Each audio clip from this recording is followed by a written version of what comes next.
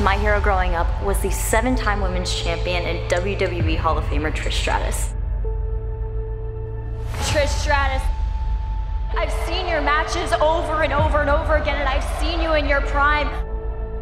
I've cheered your victories and your opponents in your era, and I can finally tell you, woman to woman, you sucked.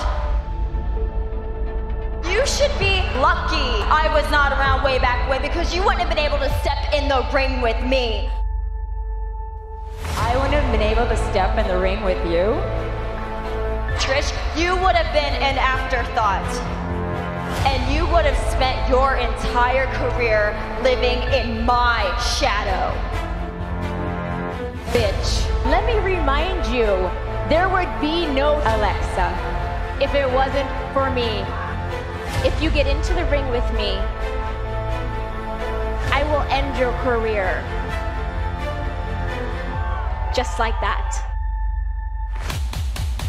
all the yoga, stretching, and meditating isn't to save you from the beat down I'm to give you at Evolution.